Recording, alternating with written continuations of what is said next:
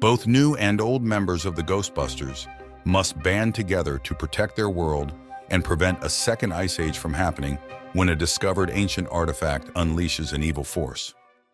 In 1904 in New York, Ghostbusters were called to deal with an incident at the Manhattan Adventurer Society. However, instead of flames, they found a room covered in ice and everyone inside was frozen. The Ghostbusters noticed one strange individual sitting still, but unlike the others, this person wasn't frozen and was holding a strange orb that seemed to be closing on its own. The Ghostbusters slowly approached the strange person and reached out for the artifact. Unexpectedly, the person's eyes snapped open and it seemed to have triggered something because those who were frozen suddenly exploded. Inside the orb were only darkness and storms, until glowing eyes snapped open. In the present day, Gary Grooberson is speeding down the Manhattan streets in pursuit of a Hell's Kitchen ghost called the Sewer Dragon. He is with his girlfriend, Callie Spengler, and her children, Phoebe and Trevor. Phoebe moved the advanced chair out of the car and struck the sewer dragon with a nuclear accelerator.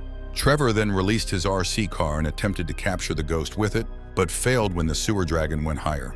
So Callie released her drone and chased after the sewer dragon. Once they captured the sewer dragon, Phoebe went back inside the car, narrowly dodging a car. However, they got into trouble for causing so much damage during their pursuit of the sewer dragon.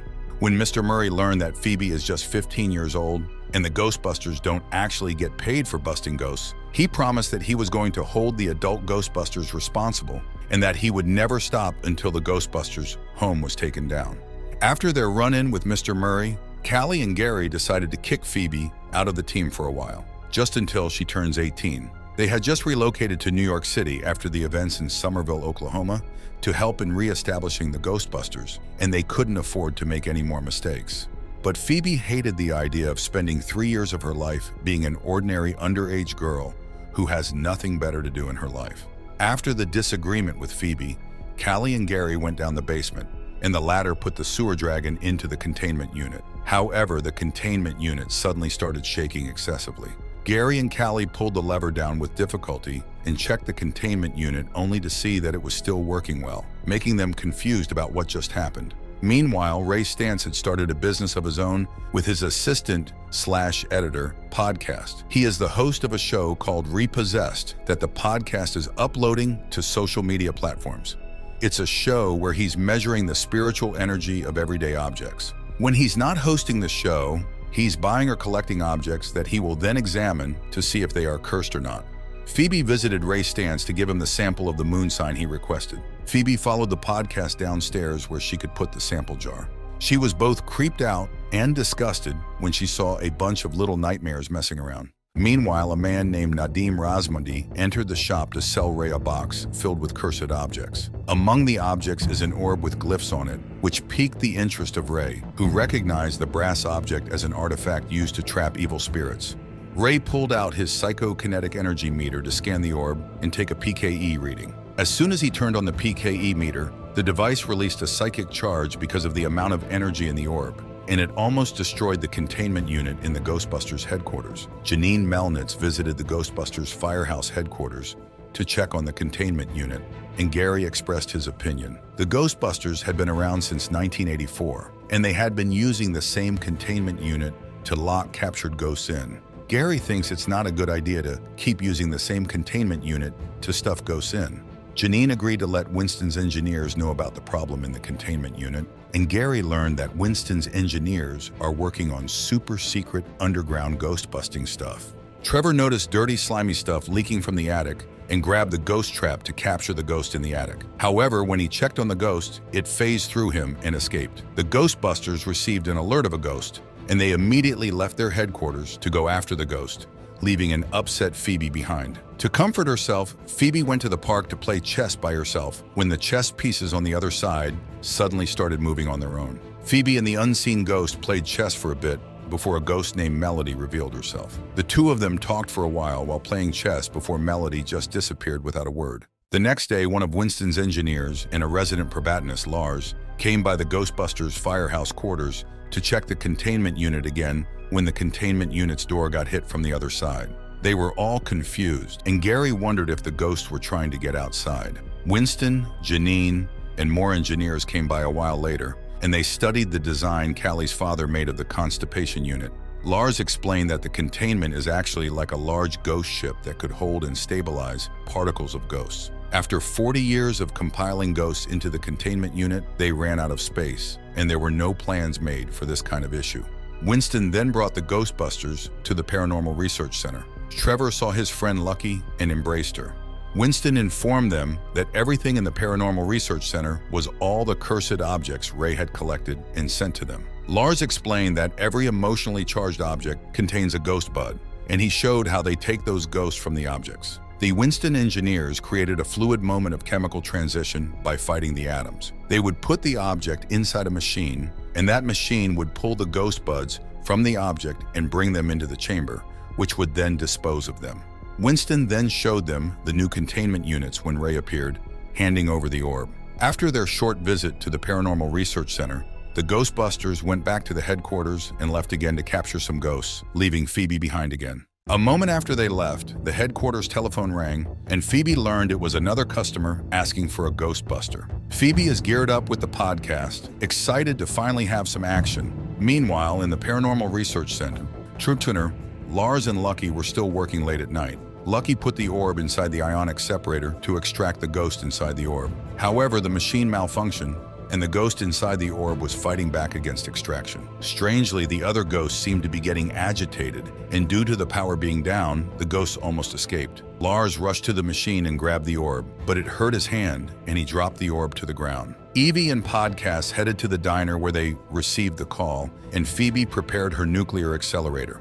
Upon seeing that the ghost was none other than Melody, Phoebe hesitated, and this gave Melody enough time to escape before Phoebe could blast her with the nuclear accelerator. Phoebe returned to the headquarters alone and found Melody floating in front of her window. She invited Melody inside and showed her around. They stopped by the containment unit, and Phoebe explained how the containment unit holds the ghosts. Melody slowly approached Phoebe, and the two of them shared an intimate conversation until Callie called for Phoebe, causing Melody to leave immediately. Melody walked on the streets and stopped when she felt the presence of another ghost. She informed the unseen ghost that she's going as fast as she can in doing what she was told to do. The next day, Phoebe was woken up from her sleep and summoned to the basement, where she saw that the walls around the containment unit had been destroyed and the containment unit was freezing. In the Paranormal Research Center, the orb was being tested again, and they noticed how the other ghosts were acting around it. They kept the orb, and Trevor, Lucky, and Lars headed to Nadim's apartment to ask where he got the orb. Nadim showed them his grandmother's special back room, which he found one day by accident. Lucky pointed an advanced weapon at Nadim and brought him to the Paranormal Research Center, where Peter was the one to interrogate him.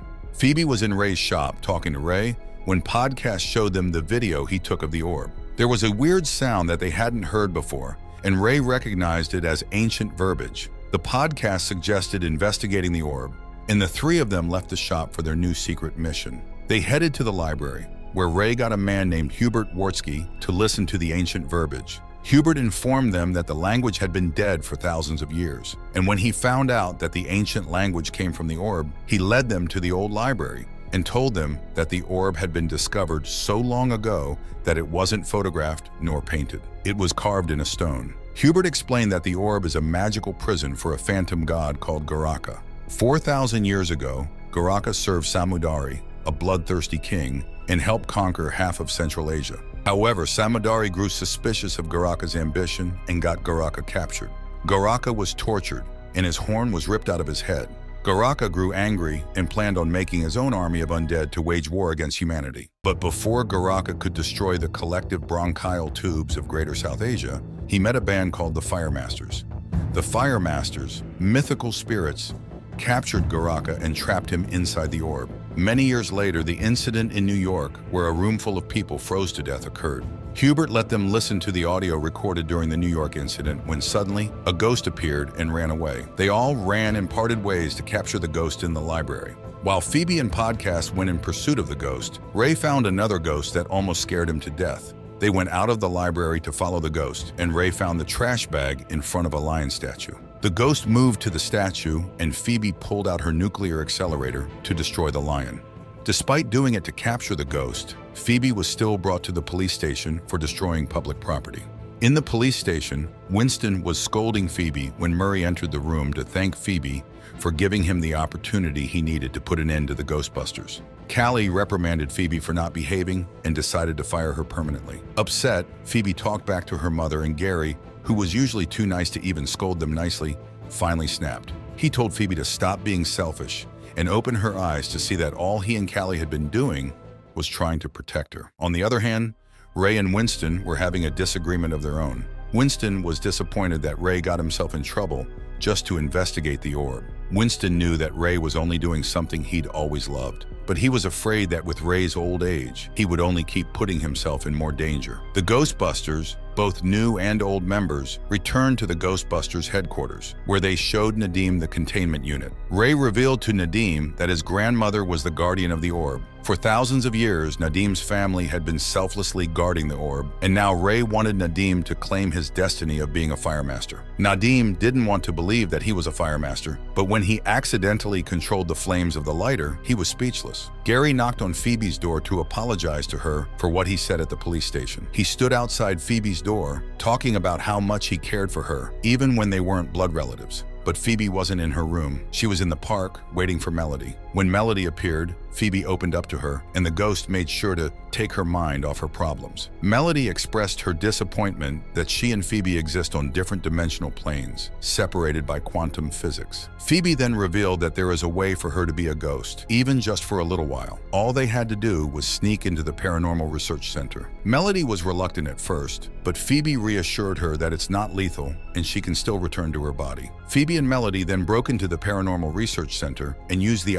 ionic separator to separate Phoebe's spirit from her body. It was a success and Phoebe approached Melody, who suddenly looked guilty. Melody apologized, and before Phoebe could learn why Melody was apologizing, her eyes started glowing, and she lost control of herself. Melody explained that the human voice is the key to destroying the orb and freeing Garaka. But Garaka can't control humans, only the ghosts, and now he can control Phoebe. Chanting a spell in Japanese, Phoebe was forced to watch as she was used to shatter the orb that freed Garaka. The room was swallowed by darkness, and Phoebe looked at Garaka in fear before her spirit returned to her human body. Lucky entered the room and struck Garaka with the nuclear accelerator, but Garaka destroyed the nuclear accelerator and escaped. Gary and Callie rushed to the research center and were extremely worried when they learned of what happened. Garaka, on the other hand, went looking for the firemaster. He went to Nadim's home and retrieved his throne from Nadim's grandmother's special back room. After obtaining his throne, Garaka wreaked havoc on the beach and rained ice spikes. Gary, Callie, and Phoebe returned to the headquarters and told the others what happened. Podcast told them not to worry because they have Nadim, the firemaster, but the others could only look on in embarrassment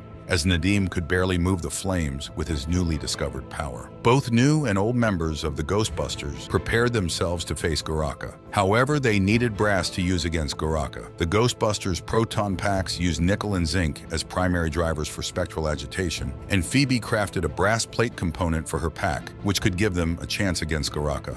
Ray and Janine were pleasantly surprised when they opened the door, and Peter entered the room, looking excited to join the battle. Suddenly, a ghost manipulated the Ghostbusters' car and tried to hit the older members of the Ghostbusters. The ghost kept messing with them and even almost struck Trevor with the nuclear accelerator. Luckily, Nadim finally got control of his power and stopped the ghost from blasting Trevor. The ghost possessed a pizza and tried to escape, but was eaten by the glutton ghost that had been residing in the headquarters attic. While everyone else was inside the headquarters, Phoebe was out with Melody. She wanted to strike Melody with the nuclear accelerator, but their short friendship despite it having been a fake one, was still important to her. Melody apologized for betraying Phoebe, explaining that she only did it so she could see her family again, and she believed that helping Garaka was the only way. Phoebe tried to convince Melody to change her mind and help them defeat Garaka instead. While Phoebe and Melody were talking, the others were finally facing Garaka himself. But their nuclear accelerators didn't work on Garaka. Everyone, including Garaka, fell silent when Nadim slid down the pole wearing the Firemaster armor. Nadim distracted Garaka with a small talk before he proudly revealed the lighter he was supposed to use against Garaka. But he used up all the lighter's fluid, and now his plan has failed. Annoyed, Garaka unleashed his power and breached the containment unit, releasing all the ghosts trapped inside it. Melody bid farewell to Phoebe before disappearing, and Phoebe ran back inside to meet up with others who had already been frozen. Using her proton pack with a brass component in it, Phoebe struck Garaka and was able to cause damage before Garaka released ice to freeze Phoebe. Garaka reached out to steal Phoebe's spirit, but then Melody appeared, lighting up a match that Nadim, who was able to dodge Garaka's ice power, used to attack Garaka. Phoebe and the others were unfrozen, and Phoebe's nuclear accelerator with a brass component joined Nadim's flames in striking Garaka. The podcast attempted to use the drone trap to capture Garaka, but it failed. While Phoebe and Nadim were busy with Garaka, Ray, Peter, Winston, and Janine went down the basement and used the containment unit to reduce criticality by neutralizing the mass energy and density. They pulled the lever down, and it successfully entrapped Garaka and some of the ghosts that were released. They all cheered when Garaka was finally defeated, and the light above the containment unit turned green.